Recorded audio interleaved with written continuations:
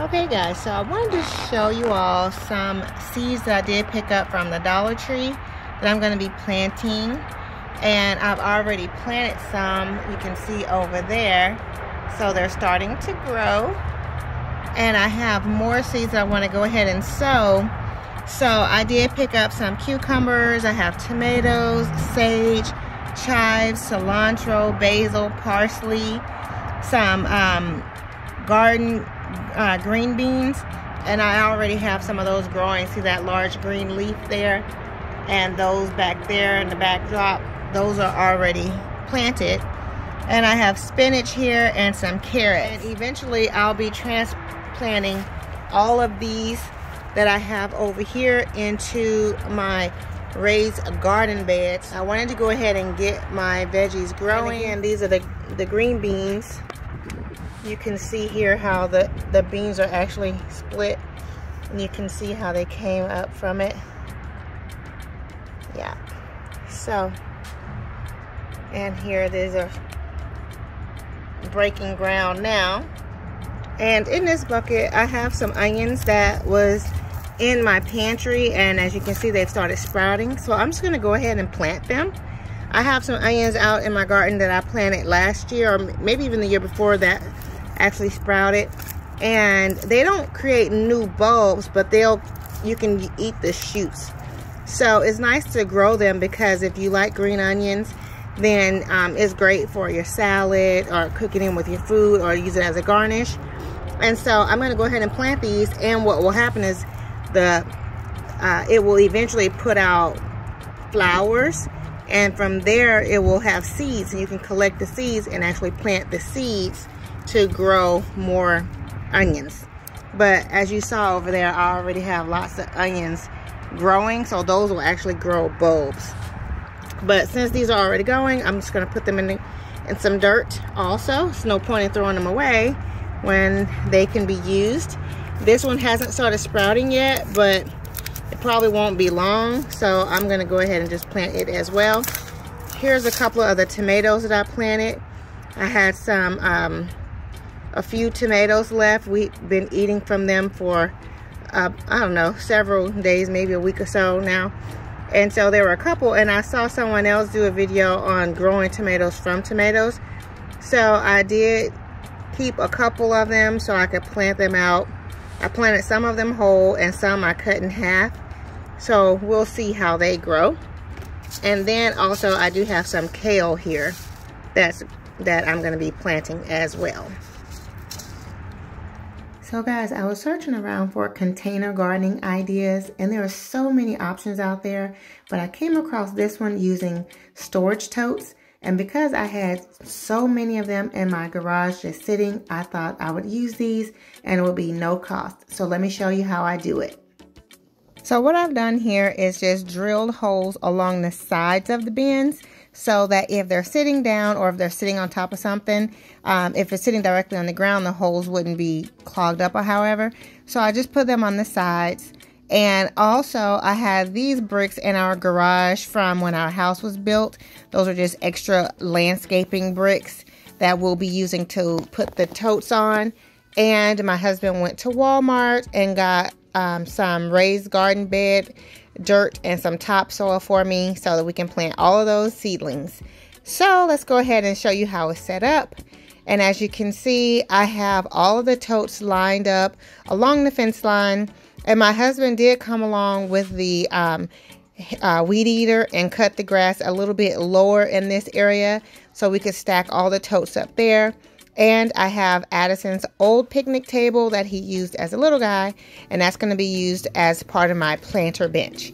So that is the setup so far.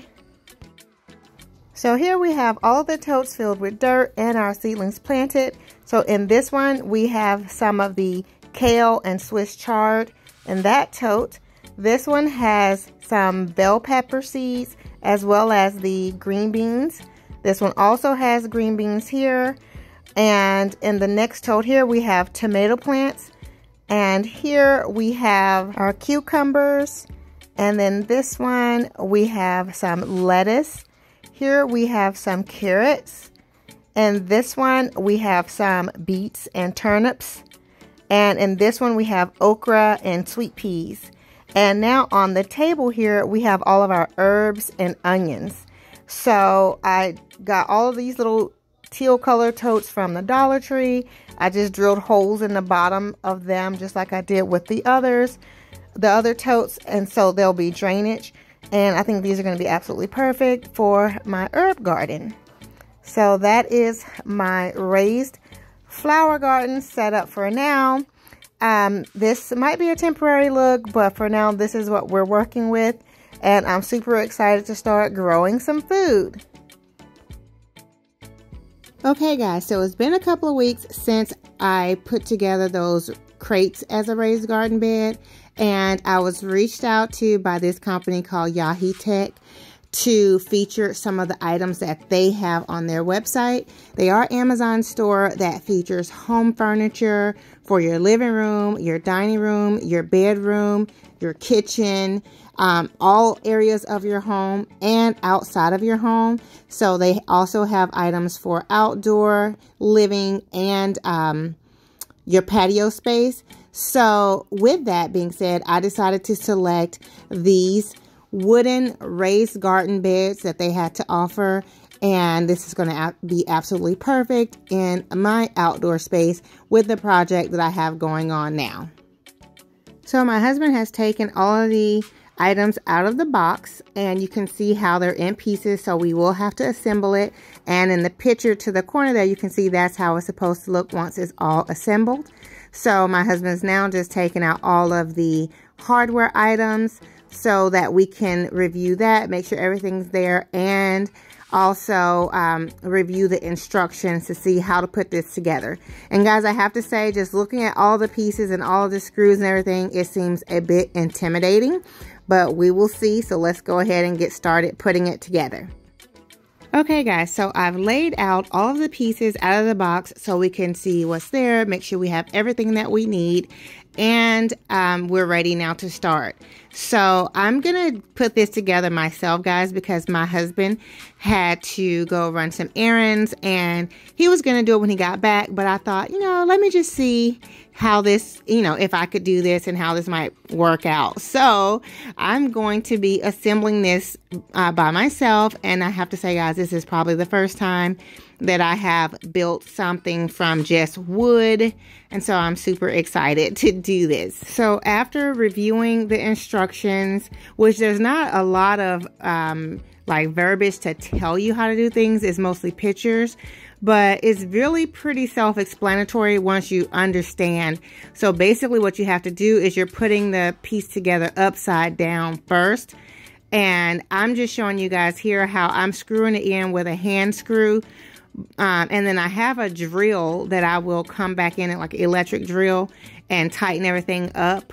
But I wanted to do it by hand first just to make sure that I was doing it right so that if I needed to redo something or undo it, then, you know, it would be easy to just screw them out since I'm not putting them in really tight from the start. But if you are a more confident carpenter, then uh, you can start straight with your drill first but for me, this worked out perfectly fine. It was really easy to use the hand screwdriver to put everything together.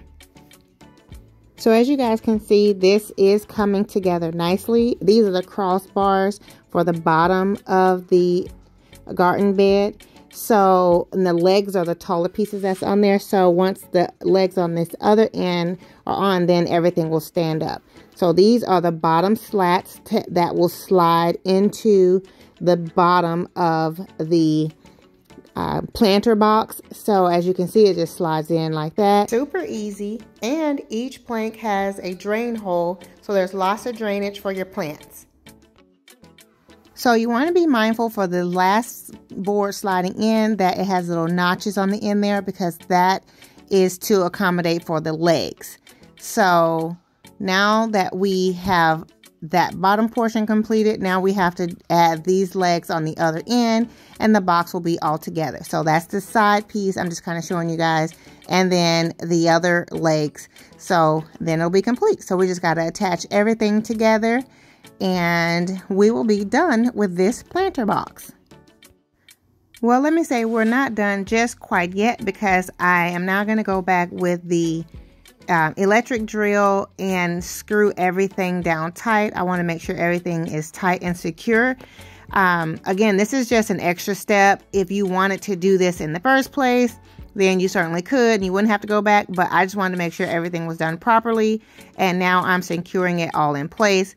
And these are the final bolts that need to be added on the sides here. They kind of lock the legs in place.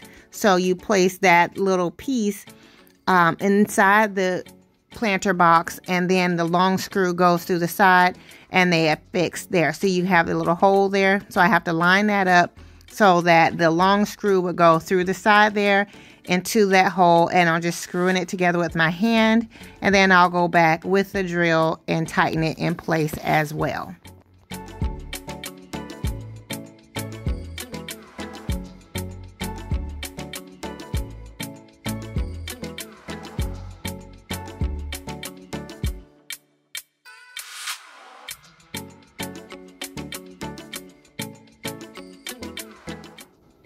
For the final step, we'll add the little toppers on each end. And as you can see, it comes with a little bolt there and two screws and we'll just screw those into place. And they're like little post toppers.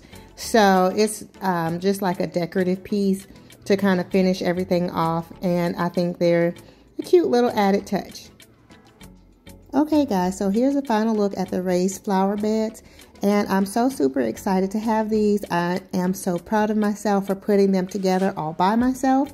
It did take me about an hour and a half to do both of them. But as you saw, I did take my time because I wanted to do it right. And I am so happy with the final result. So now guys, it's a couple of days later because um, after the first day, it was starting to get dark and we got rain. So I wanted to show you guys that I'm going to be planting these watermelon seedlings into our raised garden bed. I did grow these from seeds. I did purchase, um, these are the little sweet babies. So they're smaller watermelons and I'm going to plant them in this raised bed here. And I have the second one there that I'm thinking about adding some cabbage to it. I have cabbage growing in these two pots here. Um, but we'll see about that because I don't know if I'm going to have enough dirt to do both. And I definitely have to get those watermelon out of that. And the cabbage has some little seedlings on the sides of that. So those will have to come out eventually. But for now, we're going to go ahead and plant the watermelons into the raised garden bed. Also, guys, if you're interested in these planter beds from Yaheetech, be sure to check my description box down below because I will have the link there as well as a discount code. And I'm just showing you guys how there's plenty of drainage in these raised garden beds, and so they're going to be absolutely perfect um, for my garden. So, yes, be sure to check the description box for more details. Alrighty guys, so I think I'm going to go ahead and end this video right here for today. I will come back in a future video and share with you guys how the watermelon look once they're all planted in the planter boxes as well as the cabbage. So if you're new here, welcome. I hope that you will go ahead and click the subscribe button and be sure to hit the notification bell so you won't miss any videos. For my faithful family members, you guys know I love you so much and I look forward to seeing all of you on the next video. Much love and many blessings. Bye bye.